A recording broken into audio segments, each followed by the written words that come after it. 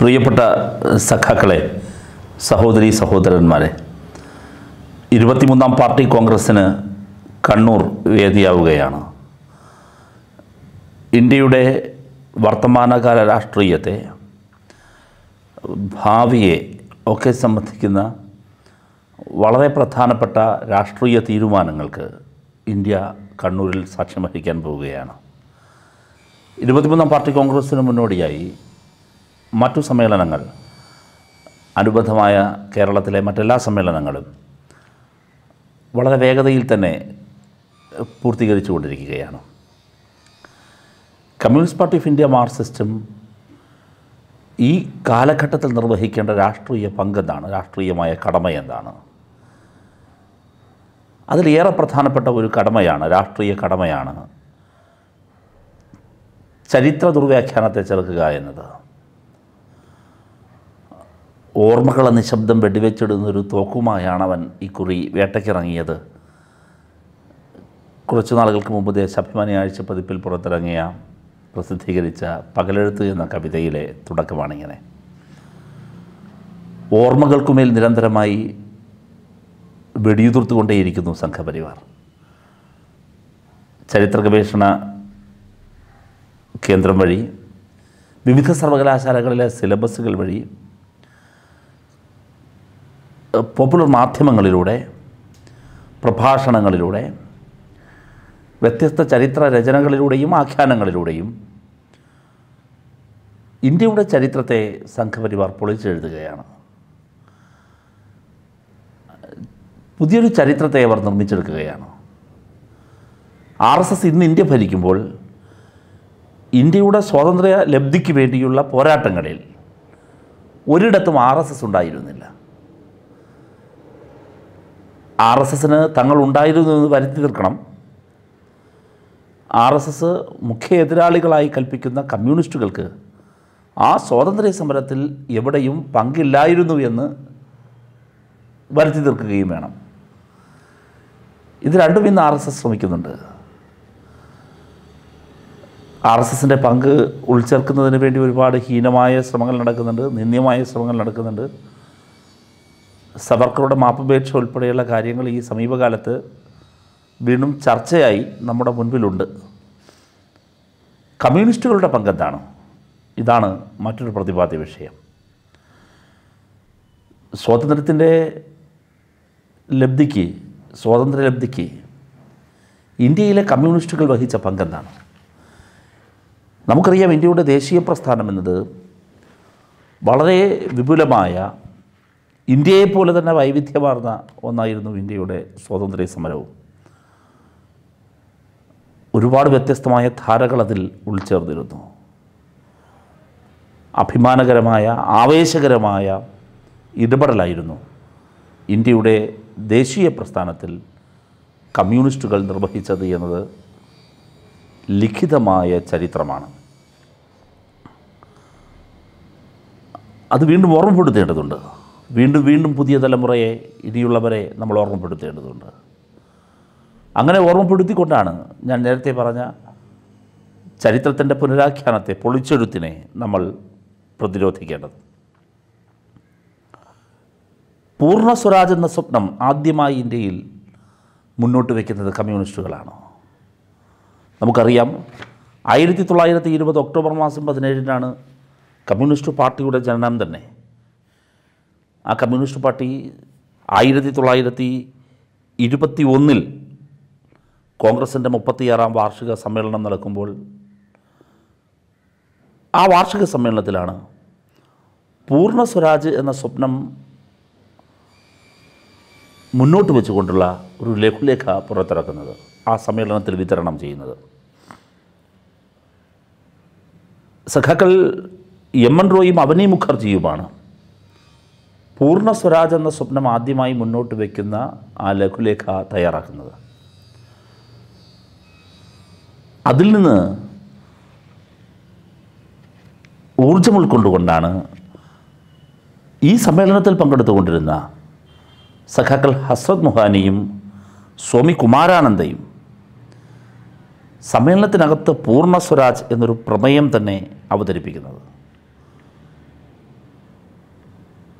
ഈ പ്രമേയത്തെ അംഗീകരിക്കുന്നില്ല. തള്ളിക്കളയുന്നു. അതിനുശേഷം ചേർന്ന കൽക്കത്ത കോൺഗ്രസ്. കോൺഗ്രസിന്റെ കൽക്കത്ത സമ്മേളനത്തിൽ വെച്ച് പൂർണ സ്വരാജ് എന്ന പ്രമേയം അംഗീകരിക്കണമെന്ന ആവശ്യം കൂടി മുന്നിൽ വെച്ച് കൽക്കത്തയിലെ ടെക്സ്റ്റൈൽ തൊഴിലാളികൾ തൊഴിലാളി വിഭാഗം നടത്തിയ പടുകൂറ്റൻ പ്രകടനം ചരിത്രത്തിന്റെ ഭാഗമാണ്. മദ്രാസ് കോൺഗ്രസ്സിലാണ്. ഞാൻ ഈ പറഞ്ഞ ആയിരത്തി തൊള്ളായിരത്തി ഇരുപത്തി ഒന്നിൽ അവതരിപ്പിക്കപ്പെട്ട പൂർണ സ്വരാജ് കോൺഗ്രസിന്റെ ഔദ്യോഗിക നേതൃത്വം തന്നെ ഉന്നയിക്കാൻ തുടങ്ങുന്നത്. പണ്ഡിറ്റ് ജവഹർലാൽ നെഹ്റു മദ്രാസിലെ കോൺഗ്രസ്സിൽ വെച്ച് പൂർണ സ്വരാജിന്റെ പ്രമേയം അവതരിപ്പിക്കുകയാണ്. പണ്ഡിറ്റ് നെഹ്റു ഇത് അവതരിപ്പിക്കുമ്പോൾ ആരാണ് ഇത് പിന്തുണച്ചത് എന്നത് വളരെ പ്രധാനപ്പെട്ട കാര്യമാണ്. പണ്ഡിറ്റ് നെഹ്റു ഈ പ്രമേയം അവതരിപ്പിക്കുന്നു. പൂർണ സ്വരാജിന് വേണ്ടിയുള്ള പ്രമേയം. അതിൽ പിന്തുണയ്ക്കുന്നത് ജോഗ്ലേക്കർ എന്ന കമ്മ്യൂണിസ്റ്റ് നേതാവായിരുന്നു. ഇതേ ജോഗ്ലോക്കറാണ് പിന്നീട് മീററ്റ് ഗൂഢാലോചന കേസിൽ പ്രതിചേർക്കപ്പെടുകയും പ്രതി ചേർക്കപ്പെടുകയും തുടർന്ന് ശിക്ഷിക്കപ്പെടുകയും ചെയ്തത്. നാടുകടത്തപ്പെട്ടു അദ്ദേഹം. നമുക്ക് പൂർണ സ്വരാജിന് വേണ്ടിയുള്ള ഈ മുദ്രാവാക്യം ആയിരത്തി തൊള്ളായിരത്തി മുപ്പതിലാണ് കോൺഗ്രസ് പൂർണ സ്വരാജ് എന്ന പ്രമേയം പൂർണമായും അംഗീകരിക്കുന്നത്. അപ്പോൾ കോൺഗ്രസ് ഇന്ത്യയിൽ പൂർണ സ്വരാജ് എന്ന മുദ്രാവാക്യം മുൻപോട്ട് വയ്ക്കുന്നതിന് മുൻപ് തന്നെ പൂർണ സ്വരാജ് എന്ന മുദ്രാവാക്യം ഇന്ത്യയിൽ ആദ്യമായി മുൻപോട്ട് വയ്ക്കുന്നത് കമ്മ്യൂണിസ്റ്റുകളാണ് എന്നത് അഭിമാനത്തോടെ നമുക്ക് പറയാൻ കഴിയും. ഇന്ത്യയിൽ ആയിരത്തി തൊള്ളായിരത്തി ഇരുപതുകൾക്ക് ശേഷം ആയിരത്തി തൊള്ളായിരത്തി ഇരുപതുകളുടെ മറ്റൊരു സവിശേഷത ഇന്ത്യയുടെ സ്വാതന്ത്ര്യ സമരം എല്ലാ അർത്ഥത്തിലും നവോന്മേഷം നേടിയൊരു കാലമായിരുന്നു. ഗാന്ധിയുടെ കടന്നുവരവുണ്ട്. കമ്മ്യൂണിസ്റ്റ് പാർട്ടിയുടെ ഇടപെടലുകളുണ്ട്. പൂർണ സ്വരാജിന് വേണ്ടിയുള്ള ഇത്തരം ഇടപെടലുകളുണ്ട്. ഈ കാലയളവിലുടനീളം കമ്മ്യൂണിസ്റ്റ് പാർട്ടി പൂർണ സ്വരാജ് മാത്രമല്ല മുൻപോട്ട് വെച്ചത്. ഇന്ത്യയുടെ സ്വാതന്ത്ര്യ സമരത്തെ എങ്ങനെയാണ് ശക്തിപ്പെടുത്തേണ്ടതെന്നതിനെ സംബന്ധിച്ചും കമ്മ്യൂണിസ്റ്റുകൾക്ക് വളരെ കൃത്യമായ കാഴ്ചപ്പാടുണ്ടായിരുന്നു. ബഹുജനങ്ങളെയാകെ സംഘടിപ്പിച്ച് ബ്രിട്ടീഷ് വിരുദ്ധ ജ്വരം എല്ലാ ബഹുജനങ്ങൾക്കിടയിലും വ്യാപിപ്പിച്ച് അങ്ങനെ ജനങ്ങളെയാകെ ബ്രിട്ടീഷുകാർക്കെതിരെ അണിനിരത്താൻ കഴിയുന്ന ഒരു രീതിയിലേക്ക് നമ്മൾ മാറണം. വ്യക്തികളുടെയോ ചെറിയ ചെറിയ സംഘടനകളുടെയോ ഒക്കെ ഒരു വളരെ കൃത്യതയുള്ള കാഴ്ചപ്പാടിന്റെ അടിസ്ഥാനത്തിൽ ബ്രിട്ടീഷ് വിരുദ്ധ വികാരം ആളിക്കത്തിപ്പിക്കാൻ ബഹുജന സംഘടനകളുടെ രൂപീകരണവും അതിന്റെ പ്രവർത്തനങ്ങളും വലിയ തോതിൽ സഹായകരമായി എന്നുള്ളത് ചരിത്രത്തിന്റെ ഭാഗമാണ്. ഞാൻ നേരത്തെ സൂചിപ്പിച്ചു കൽക്കത്തയിൽ നടന്ന തൊഴിലാളികളുടെ സമരം തൊഴിലാളികളെ സംഘടിപ്പിച്ചു കർഷകരെ സംഘടിപ്പിച്ചു. തൊഴിലാളികളും കർഷകരുമെല്ലാം അനുഭവിക്കുന്ന ദുരന്തത്തിനും ചൂഷണത്തിനും അസമത്വത്തിനുമെല്ലാം കാരണം ബ്രിട്ടീഷ് രാജാണെന്നും ബ്രിട്ടീഷ് വിരുദ്ധ സമരത്തിൽ ഇന്ത്യൻ നാഷണൽ കോൺഗ്രസിനൊപ്പം അണിചേരുക എന്നത് നമ്മുടെ രാഷ്ട്രീയ ഉത്തരവാദിത്തമാണെന്നും അങ്ങനെ ദേശീയ പ്രസ്ഥാനത്തെ ശക്തിപ്പെടുത്തുക എന്നത് ഓരോ ഇന്ത്യക്കാരന്റെയും ഓരോ വിഭാഗങ്ങളുടെയും ഉത്തരവാദിത്വമാണെന്ന ഉയർന്ന രാഷ്ട്രീയ ബോധം ഈ ജനങ്ങളിലേക്ക് എത്തിക്കുന്നതിന് നല്ല നിലയിൽ ഇടപെടാൻ കമ്മ്യൂണിസ്റ്റുകൾക്ക് കഴിഞ്ഞു. തുടക്കം മുതലേ കഴിഞ്ഞു എന്നുള്ളതാണ് അതിന്റെ യാഥാർത്ഥ്യം. അവിടെയാണ് ബ്രിട്ടീഷുകാർ ഇത് അപകടം മനസ്സിലാക്കി കമ്മ്യൂണിസ്റ്റുകൾക്കെതിരെ നന്നായി തിരിയുന്നത്. കമ്മ്യൂണിസ്റ്റ് പാർട്ടിയെ ഇല്ലാതാക്കുന്നതിന് അതിന്റെ നേതാക്കളെ ഉന്മൂലനം ചെയ്യുന്നതിന് ആസൂത്രിതമായ ശ്രമങ്ങൾ ഇവർ നടത്തിയത് കാണാൻ കഴിയും. ആയിരത്തി തൊള്ളായിരത്തി ഇരുപത്തിരണ്ടിലാണ് പെഷവാർ ഗൂഢാലോചന വരുന്നത് ഗൂഢാലോചന കേസ്. ആയിരത്തി തൊള്ളായിരത്തി ഇരുപത്തിനാലിലാണ് കാൺപൂർ ഗൂഢാലോചന കേസ് വരുന്നത്. കമ്മ്യൂണിസ്റ്റ് പാർട്ടിയുടെ അന്നുണ്ടായിരുന്ന സമുന്നതരായ നേതാക്കളെ സഖാക്കളെ സേഡാങ്കെ ഷൗക്കത്ത് ഉസ്മാനി മുസഫർ അഹമ്മദ് നൽനി ഗുപ്ത നാല് വർഷം ഈ നേതാക്കളെ കാൺപൂർ ഗൂഢാലോചന കേസിൽ ഉൾപ്പെടുത്തി തടവിന് ശിക്ഷിച്ചു ബ്രിട്ടീഷുകാർ. ആയിരത്തി തൊള്ളായിരത്തി ഇരുപത്തി ഒൻപത് മാർച്ചിലാണ് ഞാൻ നേരത്തെ പരാമർശിച്ച മീററ്റ് ഗൂഢാലോചന കേസ് വരുന്നത്. S A Dange Shaukat Usmani Muzaffar Ahmad P C Joshi ഞാൻ അല്പം മുമ്പ് പരാമർശിച്ച ജോഗ്ലേക്കർ മദ്രാസിലെ നെഹ്റുവിന്റെ പൂർണ സ്വരാജ് എന്ന പ്രമേയത്തെ പിന്തുണച്ച ജോഗ്ലേക്കർ ഉൾപ്പെടെ. കമ്മ്യൂണിസ്റ്റ് നേതാക്കളെ ഇവരുൾപ്പെടെ മുപ്പത്തൊന്ന് പേരെയാണ് മുപ്പത്തൊന്ന് പേരെ ജയിലിലടച്ചു. മീററ്റ് ഗൂഢാലോചന കേസിലേക്ക് എത്തുമ്പോഴേക്കും ഇത് ദേശീയ ശ്രദ്ധയിലേക്ക് വന്നു കഴിഞ്ഞിരുന്നു. മീററ്റ് ഗൂഢാലോചന കേസിൽ പ്രതി ചേർക്കപ്പെട്ട് ജയിലിൽ കഴിഞ്ഞിരുന്നവരെ മഹാത്മാഗാന്ധി സന്ദർശിക്കുന്നുണ്ട്. ദേശീയ ശ്രദ്ധയിലേക്ക് വരികയും അത് പ്രധാനപ്പെട്ട ഒരു പ്രശ്നമായി ഉയർന്നു വരികയും ചെയ്തു. പണ്ഡിറ്റ് നെഹ്റുവിന്റെ നേതൃത്വത്തിൽ മോട്ടിലാൽ നെഹ്റുവും പണ്ഡിറ്റ് നെഹ്റുവും ഉൾപ്പെടെയുള്ളവർ ചേർന്നുകൊണ്ട് ഒരു നിയമസഹായ കമ്മിറ്റി ഈ കാലയളവിൽ ഉണ്ടായതായി നമുക്ക് കാണാൻ കഴിയും. മിററ്റ് ഗൂഢാലോചന കേസിൽ പ്രതി ചേർക്കപ്പെട്ട് ജയിലിൽ കിടന്നവർക്ക് നിയമസഹായം നൽകുന്നതിന് വേണ്ടി. അവരാണ് കേസ് നടത്തിയത്. അതിനുവേണ്ടി പണം സമ്പാദിച്ചു. അങ്ങനെ ദേശീയ ശ്രദ്ധയെ ആകർഷിക്കും വിധമുള്ള ഈ മിററ്റ് ഗൂഢാലോചന കേസിൽ പക്ഷേ വളരെ കുറച്ച് പേരൊഴികെ നാലു പേരൊഴികെ ബാക്കി മുഴുവൻ പേരെയും ശിക്ഷിച്ചു.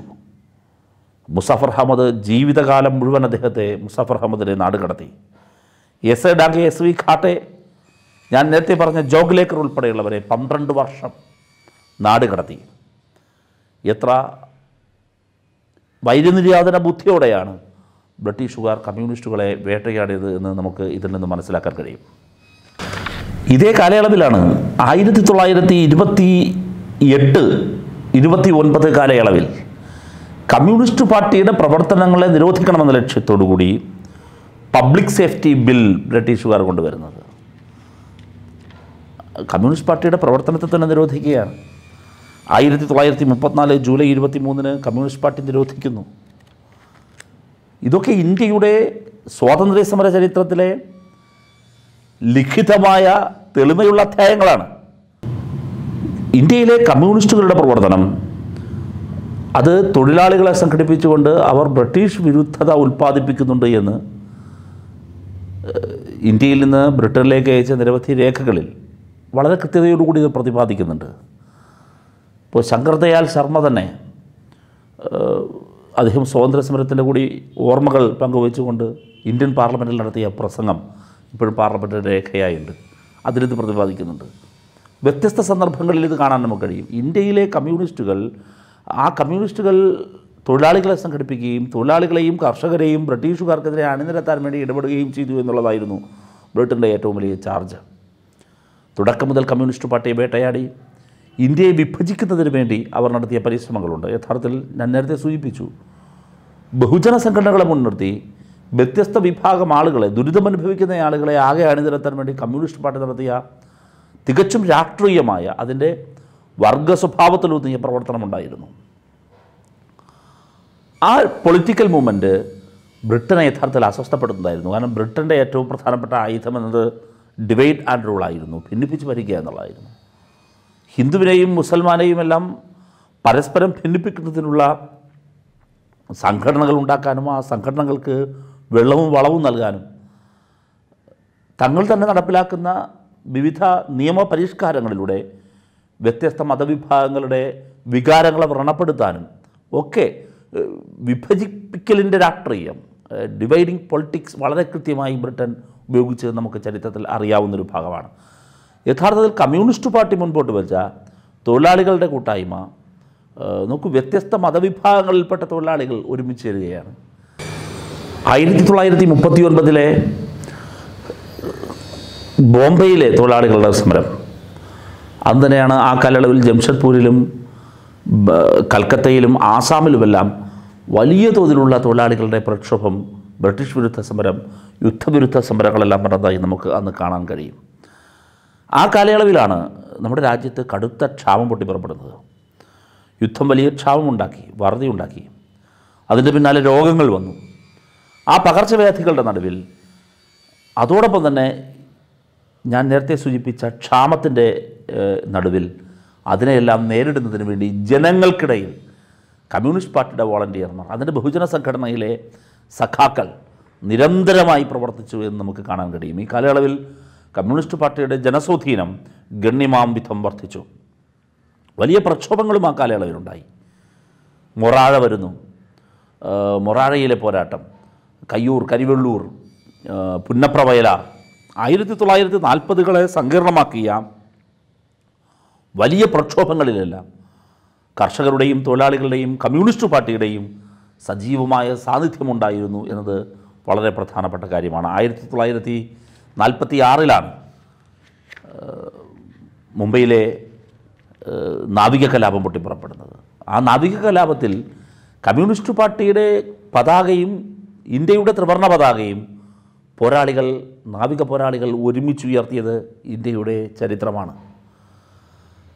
ഞാൻ പറഞ്ഞത് ആയിരത്തി തൊള്ളായിരത്തി ഇരുപത് മുതൽ ആയിരത്തി തൊള്ളായിരത്തി നാൽപ്പത്തിയേഴ് വരെയുള്ള ഇന്ത്യയുടെ ദേശീയ പ്രസ്ഥാനത്തിന്റെ അതിഗംഭീരമായ പ്രൗഢഗംഭീരമായ ഒരു ഘട്ടത്തിലുടനീളം നമുക്ക് കമ്മ്യൂണിസ്റ്റ് പാർട്ടിയുടെ സാന്നിധ്യം വളരെ കൃത്യമായി കാണാൻ കഴിയും. ഭഗത് സിംഗ് രാജ്ഗുരുവും സുഖദേവും എല്ലാം മുൻപോട്ട് വെച്ച വലിയ സ്വപ്നം സമത്വത്തിന്റെ സ്വപ്നമായിരുന്നു. ചൂഷണരഹിതമായൊരു സമൂഹത്തിന് വേണ്ടി കിനാവ് കണ്ടവരായിരുന്നു അവർ. കമ്മ്യൂണിസ്റ്റുകളുടെ സ്വാധീനം. ഈ അടുത്തിടയ്ക്ക് പുറത്തിറങ്ങിയ ഒരു പുതിയ ചലച്ചിത്രം ഒരു ഇന്ത്യൻ ചലച്ചിത്രം ഉദ്ധം സിംഗിന്റെ കഥ പറയുകയാണ്. ഉദ്ധം സിംഗ് ജനറൽ ഡയറിനെ കൊലപ്പെടുത്താൻ വേണ്ടി ജാലിയൻ ബലാബാഗിൽ കൂട്ടക്കൊലയ്ക്ക് കാരണക്കാരനായ ജനറൽ ഡയറിനെ കൊലപ്പെടുത്താൻ വേണ്ടി ബ്രിട്ടനിൽ പോയ ആളാണ്. ബ്രിട്ടനിൽ വെച്ച് ജനറൽ ഡയറിനെ കൊലപ്പെടുത്തുകയാണ്. പിടിയിലായപ്പോൾ കോടതി മുറിയിൽ എന്റെ പേര് ഉത്തം സിംഗ് എന്നത് മാറ്റി രേഖകളിൽ റാം മുഹമ്മദ് സിംഗ് ആസാദ് എന്നാക്കി മാറ്റണം എന്ന് പറഞ്ഞ മഹാനായ വിപ്ലവകാരിയായിരുന്നു.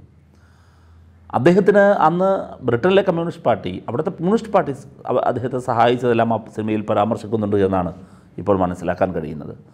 ഞാൻ പറഞ്ഞത് അതുപോലുള്ള നിരവധി പോരാളികൾ നമ്മൾ പലപ്പോഴും ഇന്ത്യയുടെ സ്വാതന്ത്ര്യ സമരത്തെ കാണുമ്പോൾ ഇന്ത്യയിലെ കമ്മ്യൂണിസ്റ്റ് പാർട്ടിയുടെ തന്നെ സ്വാതന്ത്ര്യത്തിലെ ഇടപെടലിനെ നമ്മൾ കാണേണ്ടത് കോൺഗ്രസ്സിനുള്ളിൽ ആദ്യം പ്രവർത്തിച്ചു. പിന്നെ കോൺഗ്രസ്സിനുള്ളിലെ സോഷ്യലിസ്റ്റ് ഗ്രൂപ്പായി നിൽക്കുന്നു. പിന്നീട് കമ്മ്യൂണിസ്റ്റ് പാർട്ടിയായി രൂപപ്പെടുന്നു. അതിന് ബഹുജന സംഘടനകൾ തൊഴിലാളി സംഘടനകൾ ഇങ്ങനെയാണ് കമ്മ്യൂണിസ്റ്റ് പാർട്ടിയുടെ ഇടപെടലിനെ ആകെ നമ്മൾ കാണേണ്ടത്. ആയിരത്തി തൊള്ളായിരത്തി നാൽപ്പത്തിയേഴ് ഓഗസ്റ്റ് മാസം പതിനഞ്ചിന് ഇന്ത്യ സ്വാതന്ത്ര്യത്തിലേക്ക് വരുന്ന ഘട്ടത്തിൽ ആ സ്വാതന്ത്ര്യ ദിനം വളരെ പ്രൗഢഗംഭീരമായി ആഘോഷിക്കാൻ കമ്മ്യൂണിസ്റ്റ് പാർട്ടി അതിന്റെ അണികളോട് വിശദീകരിക്കുന്നുണ്ട്. അന്ന് കമ്മ്യൂണിസ്റ്റ് പാർട്ടിയുടെ ആഫീസായ കോഴിക്കോട്ടെ ആഫീസ് കല്ലായി റോഡിലെ ആഫീസിൽ ചെങ്കോട്ടയിൽ ത്രിവർണ പതാക പാറിയുയരുന്ന അതേ നേരം തന്നെ ഇവിടെയും പതാക ഉയർന്നിരുന്നു. പിറ്റേ ദിവസം കോഴിക്കോട് പട്ടണത്തിൽ നടന്ന ആഹ്ലാദ പ്രകടനത്തിൽ വിജയ ഭേരി മുഴക്കിയുള്ള പ്രകടനത്തിന്റെ മുൻനിരയിൽ നിന്നുകൊണ്ട് ആ പ്രകടനം നയിച്ചത് പ്രിയങ്കരനായ സഖാവ് പി കൃഷ്ണപിള്ളയായിരുന്നു. ഉപ്പ് സത്യാഗ്രഹത്തിൽ പങ്കെടുത്താണ് വർഷങ്ങളോളം പ്രിയങ്കരനായ സഖാവ് ഇ എം എസിന് ജയിലിൽ പോകേണ്ടി വന്നത്.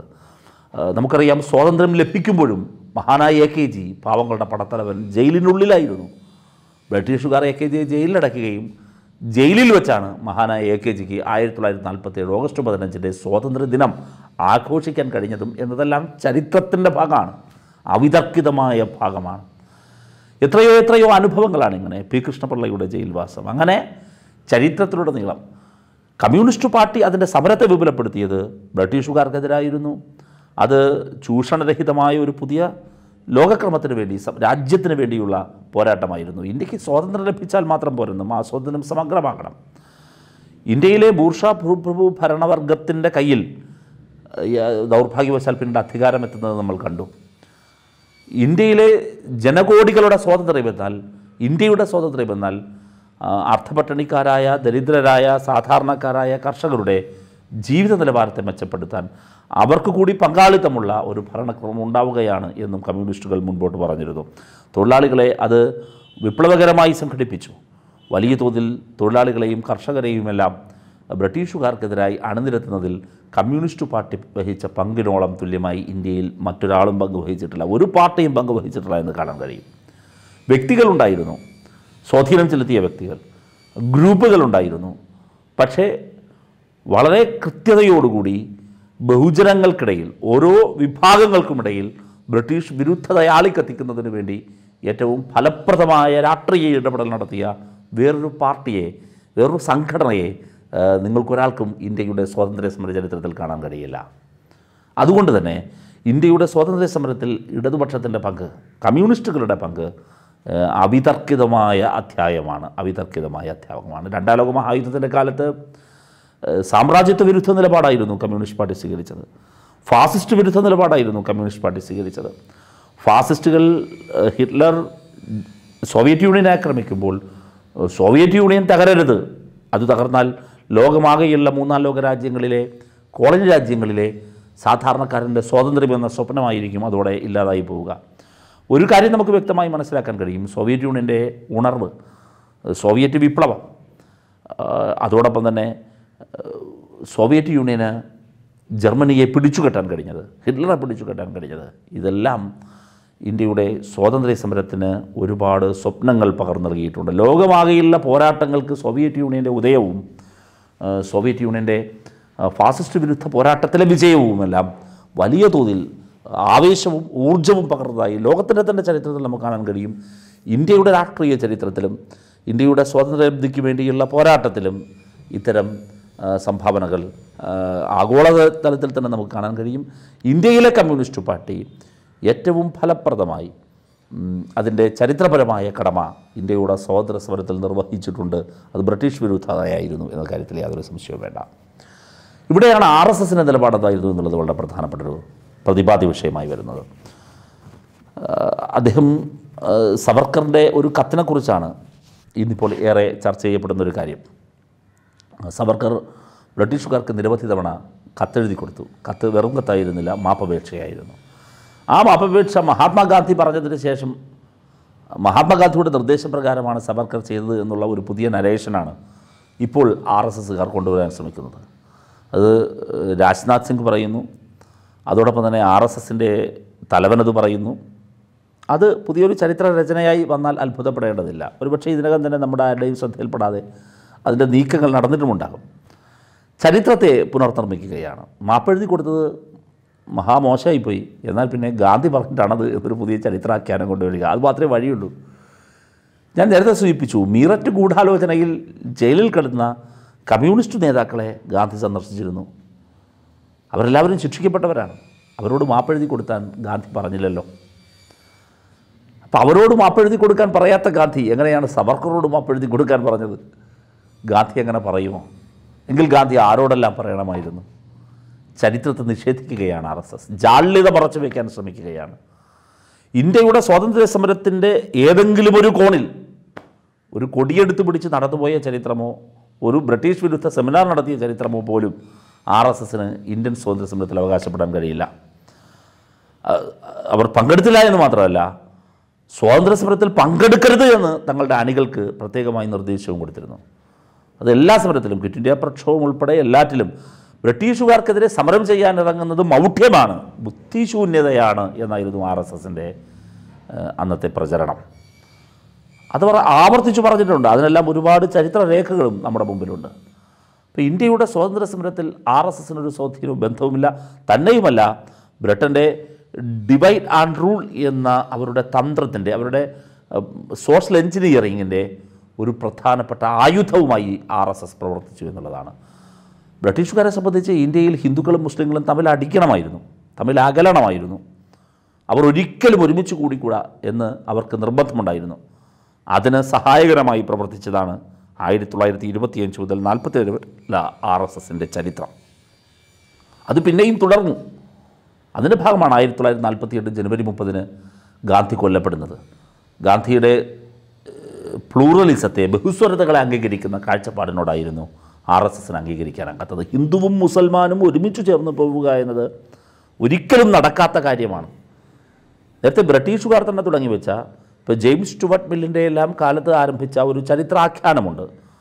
Ancient India medieval India modern India എന്നെല്ലാം പറഞ്ഞ്. ഹിന്ദു കാലഘട്ടം മുസ്ലിം കാലഘട്ടം ആധുനിക ഇന്ത്യ എന്നെല്ലാം പറഞ്ഞ് ഇന്ത്യയുടെ ചരിത്ര നിർമ്മിതിയിൽ ബ്രിട്ടീഷുകാർ വളരെ ഫലപ്രദമായി സാമുദായിക ധ്രുവീകരണം വരച്ചു വയ്ക്കാൻ ശ്രമിച്ചിരുന്നു. അതുകൊണ്ടാണ് അവർ ആയിരത്തി തൊള്ളായിരത്തി ഇരുപത്തിയൊന്നിലെ മലബാർ കലാപത്തെ മാപ്പിളമാരുടെ ഹാലിളക്കം എന്ന് വിശേഷിപ്പിക്കാൻ കാരണം. ആർ എസ് എസിന്റെ ചരിത്രരചനയും ആഖ്യാനവും യഥാർത്ഥത്തിൽ ബ്രിട്ടന്റെ തനിപ്പകർപ്പാണ് അതാകാനേ തരമുള്ളൂ. കാരണം ഇന്ത്യയുടെ സ്വാതന്ത്ര്യ സമരത്തിൽ ബ്രിട്ടീഷുകാർക്കെതിരെ എന്തെങ്കിലും ഒരു രാഷ്ട്രീയ കടമ നിർവഹിക്കാനുള്ള സംഘടനയായിരുന്നില്ല ആർ എസ് എസ് അങ്ങനെയല്ല അത് രൂപീകരിക്കപ്പെട്ടത്. ഇന്ത്യയെ വിഭജിക്കുക എന്ന ലക്ഷ്യത്തോടുകയായിരുന്നു ആ ഇന്ത്യയെ വിഭജിക്കുക എന്ന ലക്ഷ്യം ബ്രിട്ടന്റെ രാഷ്ട്രീയ ലക്ഷ്യമായിരുന്നു. അങ്ങനെ വിഭജിപ്പിച്ചാണ് നമുക്ക് ഏവർക്കും അറിയാവുന്നതുപോലെ ആർ എസ് എസ് ഇന്ത്യയെ സോറി ബ്രിട്ടൻ ഇന്ത്യയെ ഭരിച്ച് കീഴടക്കി മുൻപോട്ട് കൊണ്ടുപോയത്. അപ്പോൾ ബ്രിട്ടന്റെ കങ്കാണിപ്പണി എടുത്തു ആർ എസ് എസ്. ഏത് ചരിത്രത്തിൽ വായിച്ചാൽ നമുക്ക് മനസ്സിലാക്കാൻ കഴിയും. ആ ആർ എസ് എസിന് ഇന്ന് ഇന്ത്യ ഭരിക്കുമ്പോൾ ഒരു വല്ലാത്ത ജാള്യതയുണ്ട്. ആ ജാള്യത അവർക്ക് മറയ്ക്കണം ചരിത്രത്തെ അട്ടിമറിക്കാൻ നടക്കുന്ന നീക്കങ്ങളെ നമുക്ക് കണ്ടു നിൽക്കാനാകില്ല. ഹിറ്റ്ലർ ആദ്യം ചെയ്തത് അധികാരമേറ്റെടുത്ത ഉടനെ അവിടെ പഠിപ്പിച്ചുകൊണ്ടിരുന്ന ചരിത്ര പാഠപുസ്തകങ്ങൾ കത്തിക്കുകയായിരുന്നു. അന്നാണ് ജർമ്മൻ കവിയായിരുന്ന ഹൈനെ പാടിയത്. പുസ്തകങ്ങൾക്ക് ചിതയൊരുക്കുന്ന ഇവൻ നാളെ മനുഷ്യർക്കും ചിതയൊരുക്കും. അത് സത്യമായി. ഇന്ന് ചരിത്രത്തിന് ഇവർ ചിതയൊരുക്കുന്നത് ചരിത്രത്തിന് നേർക്ക് നിറയൊഴിച്ചു കൊണ്ടിരിക്കുന്നത് നാളെ മനുഷ്യന് ചിതയൊരുക്കാൻ വേണ്ടിയാണ് മനുഷ്യന് നേരെ വെടിയുതിർക്കാൻ വേണ്ടിയാണ്. ഇന്ത്യയിൽ വംശീയ വിഭജനം സാധ്യമാക്കാനാണ് ഈ ചരിത്ര പുനരാഖ്യാനം നടത്തുന്നത്. അതുകൊണ്ട് ആർ എസ് എസിന്റെ ചരിത്ര പുനരാഖ്യാനത്തിനുള്ള എല്ലാ ശ്രമങ്ങളെയും വളരെ ശക്തമായി നമ്മൾ എതിർക്കേണ്ടതുണ്ട്. വലിയ പ്രചാരവേല അതിനെതിരെ സംഘടിപ്പിക്കേണ്ടതുണ്ട്. കമ്മ്യൂണിസ്റ്റ് പാർട്ടി ഓഫ് ഇന്ത്യ മാർക്സിസ്റ്റിന്റെ ഇരുപത്തിമൂന്നാം പാർട്ടി കോൺഗ്രസിനോടനുബന്ധിച്ച് ഈ നടക്കുന്ന സെമിനാർ തീർച്ചയായും ഈ വെബിനാർ തീർച്ചയായും അതിനുള്ള ഊർജമായി മാറട്ടെ എന്ന് ഞാൻ സ്നേഹപൂർവം ആശംസിക്കുന്നു. കമ്മ്യൂണിസ്റ്റ് പാർട്ടി ഇന്ത്യയുടെ ചരിത്രത്തിൽ അതിന്റെ ചരിത്രപരമായ കടമ നിർവഹിച്ചിട്ടുണ്ട്. അത് ബ്രിട്ടീഷ് വിരുദ്ധതയുടെ ചരിത്രപരമായ കടമയാണ് നിർവഹിച്ചത്. തൊഴിലാളികളെ സംഘടിപ്പിക്കാനുള്ള ചരിത്രപരമായ കടമയാണ് നിർവഹിച്ചത്. ചൂഷണത്തിനും സാമൂഹിക അസമത്വത്തിനുമെതിരെ അത് സൃഷ്ടിക്കുന്ന ബ്രിട്ടനെതിരെ എല്ലാ ജനവിഭാഗങ്ങളെയും സംഘടിപ്പിക്കാനും അവരെ പ്രബുദ്ധമാക്കാനുമുള്ള രാഷ്ട്രീയ ഉത്തരവാദിത്വമാണ് കമ്മ്യൂണിസ്റ്റ് പാർട്ടി നിർവഹിച്ചത്. അതിന് വലിയ വേട്ടയാടലുകൾക്ക് കമ്മ്യൂണിസ്റ്റ് പാർട്ടി വിധേയമായേണ്ടി വന്നിട്ടുണ്ട്. ഒരു ഗൂഢാലോചന കേസിലും ഒരു നാടുകടത്തലിന്റെ മുമ്പിലും കമ്മ്യൂണിസ്റ്റ് പാർട്ടി മുട്ടിലിഴഞ്ഞില്ല കീഴടങ്ങിയില്ല ഒത്തുതീർത്തില്ല ശക്തമായി നേരിടുകയാണ് ചെയ്തത് എന്ന് ചരിത്രത്തിന്റെ ഭാഗമാണ് ചരിത്രത്തിന്റെ ഭാഗമാണ്. ഒരുപിടി ധീരന്മാരെ സംഭാവന ചെയ്തതായിരുന്നു കമ്മ്യൂണിസ്റ്റ് പാർട്ടി. ഇന്ത്യയുടെ സ്വാതന്ത്ര്യ സമര ചരിത്രത്തിൽ പൂർണ സ്വരാജ് ആദ്യമായി മുന്നോട്ട് വെച്ചു എന്നുള്ളത് കമ്മ്യൂണിസ്റ്റ് പാർട്ടിയെ സംബന്ധിച്ച് വളരെ പ്രധാനപ്പെട്ട കാര്യമാണ്. കമ്മ്യൂണിസ്റ്റ് പാർട്ടിയുടെ ഈ ആശയത്തോടാണ് കൽക്കത്ത കോൺഗ്രസിൽ വെച്ച് മഹാനായ സുഭാഷ് ചന്ദ്രബോസ് ഐക്യദാർഢ്യപ്പെടുന്നത്. അപ്പോൾ കോൺഗ്രസ് ചിന്തിക്കുന്നതിന് മുൻപ് തന്നെ നല്ല രാഷ്ട്രീയ ധാരണയോടുകൂടി ഇന്ത്യയിലെ സ്വാതന്ത്ര്യ സമരത്തിന് ദിശാബോധം പകർന്നത് കമ്മ്യൂണിസ്റ്റുകാരാണ് എന്ന് നമുക്ക് വളരെ നിസ്സംശയം പറയാൻ കഴിയുന്ന കാര്യമാണ്. കമ്മ്യൂണിസ്റ്റ് പാർട്ടിയുടെ ഇടപെടലുകളെ സംബന്ധിച്ച് ചരിത്രത്തിലെ കമ്മ്യൂണിസ്റ്റ് പാർട്ടിയുടെ പങ്കിനെപ്പറ്റി ഇവിടെ പ്രതിപാദിക്കാൻ ഇത്രയും അവസരം ലഭിച്ചതിന് നന്ദി രേഖപ്പെടുത്തിക്കൊണ്ട് ഞാൻ എന്റെ വാക്കുകൾ അവസാനിപ്പിക്കുകയാണ്. ഇരുപത്തിമൂന്നാം പാർട്ടി കോൺഗ്രസ് ഒരു ചരിത്ര വിജയമായി മാറുമെന്ന കാര്യത്തിൽ യാതൊരു സംശയവും വേണ്ട. അതിന്റെ സംഘാടനത്തിന്റെ കാര്യത്തിൽ മാത്രമല്ല ഞാൻ ഉദ്ദേശിച്ചത്. അത് ചരിത്രപരമായ ഒരു അടയാളപ്പെടുത്തൽ തന്നെയായിരിക്കും. അതെടുക്കുന്ന രാഷ്ട്രീയ തീരുമാനങ്ങളിൽ കാരണം അത് നടക്കുന്ന ഇരുപത്തിമൂന്നാം പാർട്ടി കോൺഗ്രസ് നടക്കുന്ന രാഷ്ട്രീയ സാഹചര്യം എന്നത് ഇന്ത്യയുടെ ഭാവിയെ സംബന്ധിച്ച് വളരെ ഗൗരവതരമായ ആലോചനകൾ നടക്കുന്ന ഒരു കാലത്താണ് എന്നുള്ളത് കൊണ്ട് തന്നെ ഈ പാർട്ടി കോൺഗ്രസ് ചരിത്രത്തിൽ ഇടം നേടും. അതിന്റെ ഭാഗമായി നടക്കുന്ന ഈ പരിപാടികളും എല്ലാം തന്നെ ചരിത്രത്തിന്റെ ഭാഗമായി തീരട്ടെ എന്ന് സ്നേഹപൂർവം ആശ്വസിച്ചുകൊണ്ട് നിങ്ങളുടെ ലോക്കൽ സമ്മേളനത്തിനും അതിനുബന്ധ പരിപാടികൾക്കും എല്ലാവിധ ഭാവങ്ങളും നേർന്ന് ഞാൻ വാക്കുകൾ അവസാനിപ്പിക്കുന്നു. നിർത്തുന്നു അഭിവാദനങ്ങൾ.